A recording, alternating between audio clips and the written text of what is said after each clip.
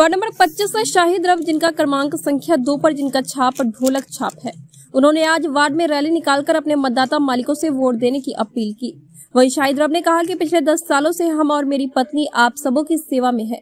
इस बार भी आप अवश्य मौका दे। छाप मिला है और उसको लेकर के आज आप अपने मोहल्ले में घूम रहे हैं। क्या संदेश दीजिएगा ढोलक की ढाक पर? सबसे पहले हम अपनी जनता को धन्यवाद देंगे।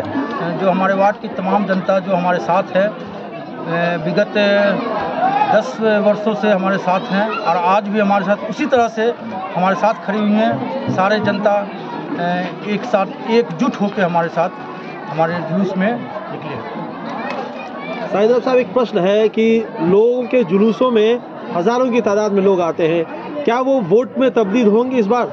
हमारे साथ जितने भी वार्ड के जनता हैं वो हमारे वोटर ही हैं। कोई बाहर के आदमी यहाँ बुला के नहीं लाया गया है। सब वोट में तब्दील होगा और अच्छे से क्या कुछ कहेंगे जो ढोलक जो छाप मिला है ढोलक की ढाक को लेकर बजाते हुए निकल रहे हैं। आपने इनके दस साल को देखा है क्या कहेंगे? हमने दस साल के अंदर में देखा है कि इस वार्ड में रोडों का जाल बिछा है नाला बना है।